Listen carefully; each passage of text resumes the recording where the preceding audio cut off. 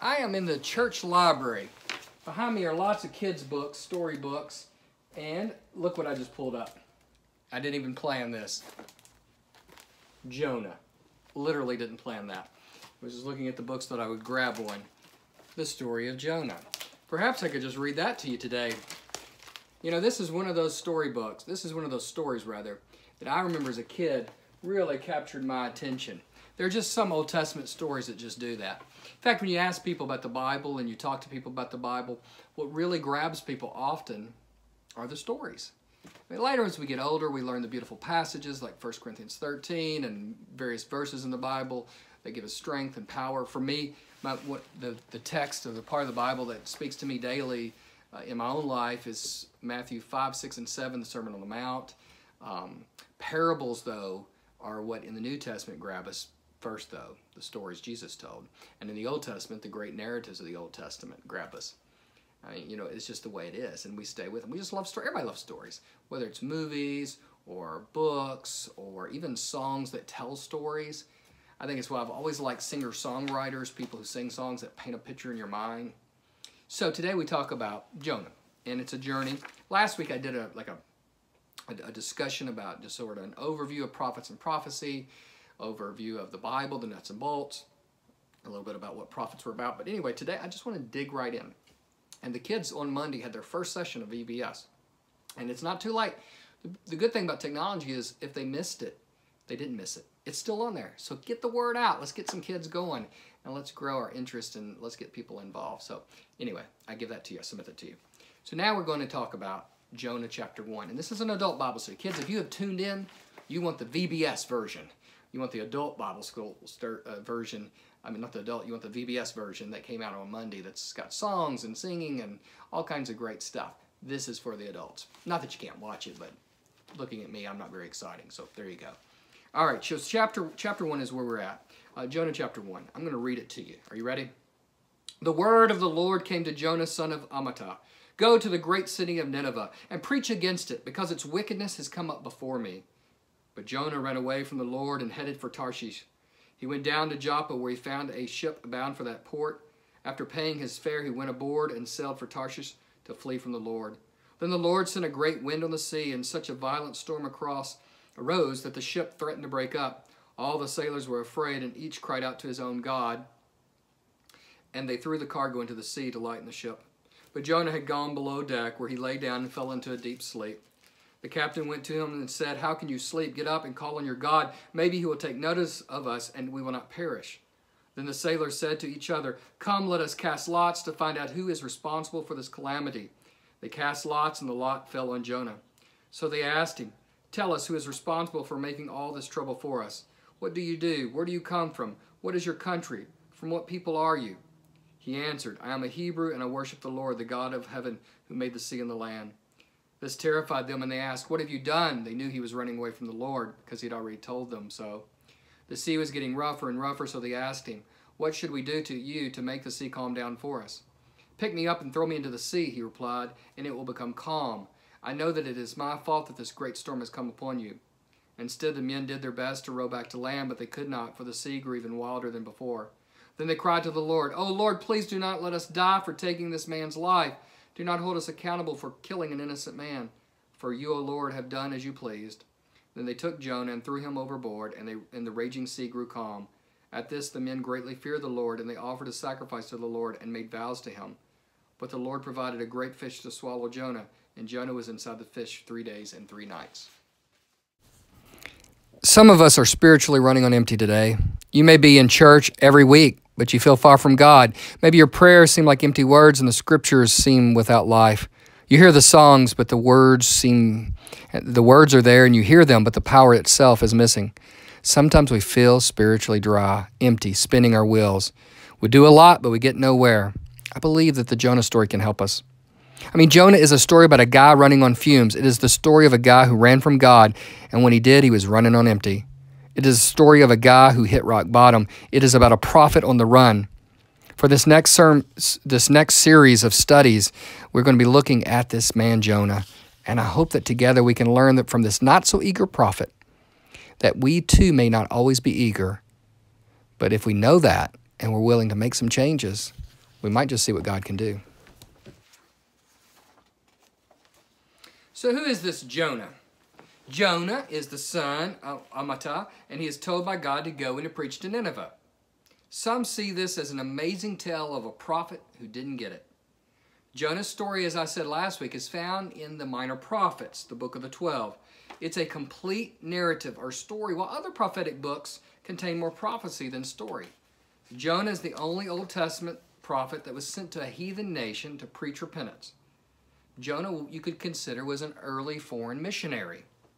Jonah's hometown was Gath Hepher in Galilee, and he was a prophet in the northern kingdom before it fell to the Assyrians. So that's your encyclopedia entry. You ready? You ready for Jeopardy? There you go. So what's the big deal with Nineveh where he was sent to go? Well, again, some more facts for you. Nineveh was on the eastern bank of the Tigris River. It stood across from where the modern city of Mosul, Iraq is today. The residents worshipped idols and gods of Asher and Ishtar. Assyria was a threat to Israel. They were the bad guys. The city was an old one, credited to Nimrod in Genesis as a founder. The city of Nineveh was the capital of the great Assyrian empire and the enemies of the north who would one day defeat them. Nineveh was in a position that left it in danger to its enemies, and so that may have been, they have been, maybe they have been, that would make them more willing to listen to a message of prophecy. I don't know. Bottom line is, Jonah did not want to go there. He was a prophet, a man of God, and he was going to be sent to the enemy. Didn't want to go there. And so he ran from his call. You read, heard the scripture. He ran. He ran. He was told to go, and he went the opposite direction. He didn't like what God said. He went to the port, and he went headed for Tarshish. We don't know where that was, but maybe as far away as Spain. He went the opposite direction of God. Let's make sure you get that. He went the opposite direction of God. We never do that. We never go opposite of what God says. We never do do this and we do the exact opposite. I think we've all done that. So why?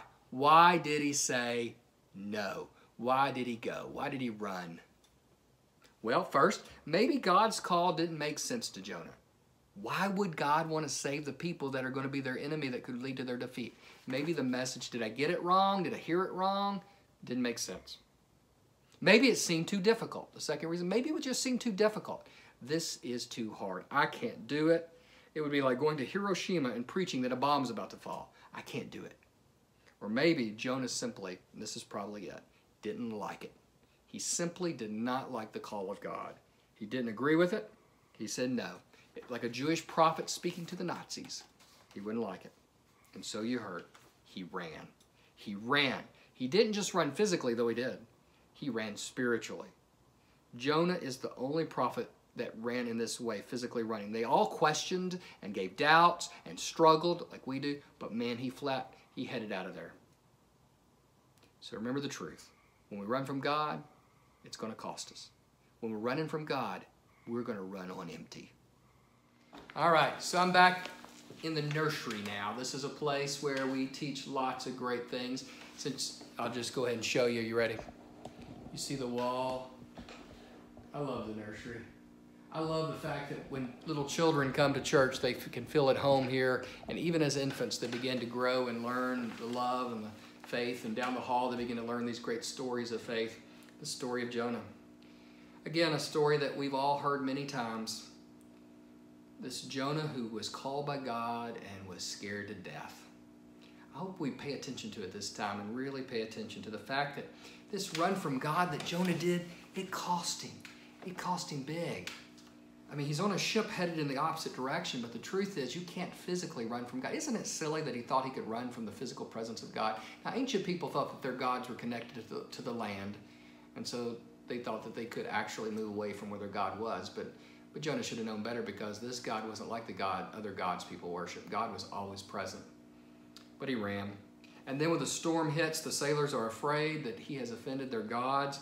They, they throw stuff off board. They're worried. They're scared. And where did they find old Jonah? Asleep at the bottom of the boat. I don't know how he slept. Maybe he was physically wiped out. Maybe he was emotionally wore out. Maybe this whole experience just devastated him. I don't know. The truth is, though, he was far from God and it's the sailors are talking to their gods. But in this story, as you look at it, it says to us that as as they're there, the great wind is there. The sailors were afraid and cried out to their God, and then they go wake up Jonah, call on your God. And they cast lots to find out that it's Jonah's problem that's causing this. Why are you causing this? He says, I'm a Hebrew and I worship God, the God of heaven.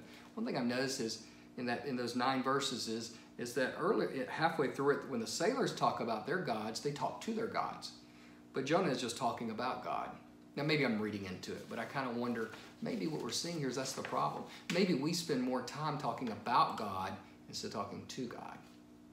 Jonah, if he had been talking to God, maybe he wouldn't have run away. Maybe his spiritual tank was empty, and that's why he ran. Maybe he could have been nurturing that spiritual tank all along the way. The good news is there's always hope because, as I said, you don't run away from the presence of God.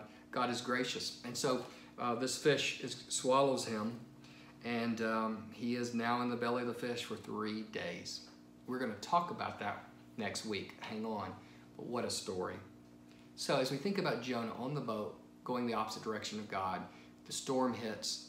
They find out it's his fault. They, he, he willingly says to them, It's my fault. And they want to know how to calm the storm. And he says, Just throw me overboard. It's my fault. And these men are nicer than Jonah. They don't want to throw him aboard, but they do because they don't want to die. And they don't want to be held accountable for this.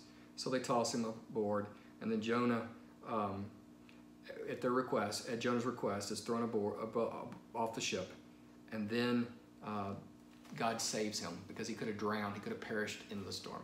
I mean, when you throw somebody off a boat into the middle of a storm, odds are they'll drown, but God brings this fish to swallow him to keep him safe in the middle of the storm. The fish is not a punishment.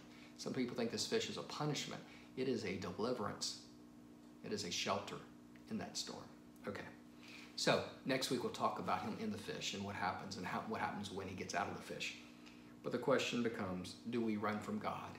Do we, like Jonah, head the opposite direction? Do we disobey? Do we talk more about God than to God? When God's call doesn't make sense, do we just check out? When God's call is too difficult, do we check out? When, God, when God's call is something we don't like, do we check out? I think it's interesting in the book of Jonah, we find Jonah being told three times to rise, get up, or go. Verse 2, God calls him to rise and get up. The ship's captain asks him in verse 5 to rise. Chapter 3, verse 2, God will tell him again to rise and get back on track. I wonder if God is telling us to get with it. I wonder if God is telling us to wake up. The truth is, friends, following God is never easy. God's call is not always clear, and God's call is sometimes scary. But when we get up and go, God can do wonders. I wonder if we're ready to have that conviction. Let me tell you about Martin Luther, the great reformer. Martin Luther was a great Protestant reformer and, and, and his goal, though, was to become a lawyer. He wanted to become successful, yet he felt uncertain about life and the spiritual questions. And in 1505, he was walking during a storm when a lightning bolt struck near him. He cried out, Help, St. Anna, I will become a monk. And so Luther found himself training to be a monk. His father was furious and felt like he was giving his, throwing his life away. Should have been a lawyer, his dad thought. Luther walked to his new um, cloister like a man on death row and announced to his friend, This day you see me, and then again, not ever again. Isn't that sad? He thought that by following God, he was giving up everything. He thought that by accepting the call of God, he was surrendering joy and peace and happiness. And he thought he was just giving up life, like it was a death sentence. But Luther did know that even though he was not quite with it, that God must have plans for him. And so he dedicated himself, his new life, to the new work, and he really wanted to please God. If he was going to do this, he wanted to please God. He was a type A person. He fasted, he spent hours in prayer, he often confessed and confessed and confessed. He wanted to please God through his dedication, but he only felt more sinful no matter what he did. He just couldn't get with it. He would say, If anyone could have gained heaven as a monk, then I would indeed have been among them. He wanted to know that God forgave him. He never felt forgiven. His superior's answers to his despair was to give him more work. When he would say that he didn't feel worthy, they'd just give him more. He was so busy, and only when he was busy he wouldn't worry. He had to stay busy to keep from worrying. And so because of that, he became a brilliant scholar, but he was miserable. He began to lecture and teach on the Psalms and Hebrews, Romans, and Galatians. He was brilliant, and his study showed. As he studied, he began to question his beliefs, though. He became convinced that the church had lost sight of the core teaching of faith, which we now call the doctrine of justification. He felt that the Bible taught that we are saved by faith and faith alone. Nothing we do, it's faith and faith alone. This key Protestant teaching that would launch the Protestant Reformation. And so he began to teach in his teachings that, gift, that salvation was a gift of God's grace found in Jesus only. He felt the church had drifted from this, and he, that was, that's where he felt he was getting despair and fear. Salvation is by God alone, and, he, and we could do nothing to earn it. These convictions led him to get angry over some of the practices he saw in Europe. The church was selling indulgences to raise money to rebuild St. Peter's Cathedral. You might ask, what's an indulgence? What they would do is you give money and you'll be you'll find some forgiveness for your sins. So when you sin, give money and we'll put it on our building program. What an ingenious building program that is. Give money, get forgiven, and we can build this thing. Well, it was they were building good things, churches, but but Luther felt this was terrible. He didn't agree. And so he felt called to stand up for the, to, against this practice, to share his conviction that we are saved by faith and faith alone. And some of you know this from history class how he nailed a copy of the 95 Thesis to the door of the Castle Church in Wittenberg, which began the Protestant Reformation. This act would shake the world. His declarations would then be printed and spread everywhere. I mean, if they'd had the internet, he'd have done this in a day. But within two weeks, all of Germany, two weeks, printing these things and passing them out. It's amazing. All of Germany had heard his message. And in two months, it was all over Europe. That is so amazing. Luther was accused of heresy, and he was verbally attacked by the church. His writings and preaching became popular with the people, but the people in charge were furious. Remember what I said last week when I did this intro? That there's always a Pharaoh and a king who stands opposed to what you're saying when you are when you are an alternative community to the powers that be. We talked about that, what prophets have to do. Luther would have, even though this is past the age of prophets, Luther was very prophetic in what he was doing. And he refused to give up. He was ordered in 1521 to appear before the Diet of Worms, a general assembly of the estates of the Holy Roman Empire in Worms, a town in the Rhine and it was conducted by the Emperor Charles V and Prince Frederick III. They said, you, We'll keep you safe when you get there. But when he got there, he knew that he was in trouble. He knew that he could lose his life. They had a table in a room full of all the writings and sermons he'd given, stacks of papers of everything he had said and been teaching. And, they, and he looked at all those books, and they said, Did you write all this? And he said, Yes. And they said, Do you stand by these books? Well, he realized that the answer to that question, when they said, did you write all this? And he said, Yes. He knew that if he said he still stood by them, that could be a death sentence. He could be executed. So he said, Can you give me some time? And he went to pray, to talk with friends, and then he came back the next day. And he stood before the most powerful people of his day, and he said these words that have echoed throughout history. Unless I shall be convinced by the testimony of the Scriptures or by clear reason, I neither can nor will make any retraction since it is neither safe nor honorable to set against conscience. And then, in front of all of those who held his fate in their hand, his fate in their hands, he said the words that have rung throughout history ever since. Here I stand, I can do no other. God help me. Amen. They declared him an outlaw. Thankfully, they didn't execute him. But they banned his books. They ordered him to be arrested. It was made a crime to even help the man. It was permitted that anyone killed him, he would not, they would not be punished. He was a man on the run in exile. In exile, he would take the New Testament and translate it into the ordinary German language. Luther's common popularity would keep him alive, and he would influence many. His Reformation would not stop, and other reformers would step up to the plate. Luther would go into marry, which was different for a minister, and to change the world. When he died, a simple note was found with his last words. The last words of this man, Martin Luther, who wrote so many words, the last words were this we are all beggars. Okay, why did I tell you all about Martin Luther? Because Luther, like Jonah, was called. Jonah ran, Luther didn't, but Luther sure felt like it. But the point is, all of us who follow God face some tough, tough decisions. Many of you have had to make tough decisions in your life about your, your career paths, about uh, family and friends, tough calls for people you love, decisions that were just gut wrenching. But the truth is, if it is God calling us to that big job, and even if it seems overwhelming, even if it seems scary, even if it doesn't make sense, if we feel it within our bones and we know this is what I'm supposed to do, well, to not answer that in the affirmative and not to do it, there's just no other choice. And the blessings we receive when we do answer God's call are beyond belief. So, what could it be? Maybe God's call is for you to love someone who is pretty unlovable. Maybe God's call is for you to hold to your ethics in a world, a business world that doesn't care about it, that's more into consumerism and profit and margins. Maybe God's call is to be faithful even with family and friends or not. Maybe God's call is to some new occupation, career path, a decision to go back to school, a decision to try something new that scares you. Maybe God's call is to make a tough decision as a parent or as a friend, there are a lot of tough calls. And the thing is, if we run from God, then our tank is so empty we can't, we don't have the energy and the ability to do the work that God has us to do. We've got to stay on track.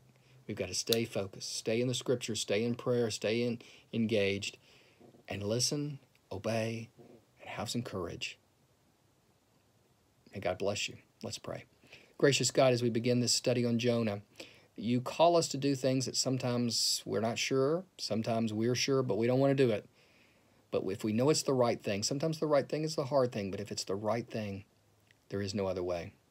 Give us the courage to face whatever we may face, to be brave and be bold. In Christ's name we pray. Amen.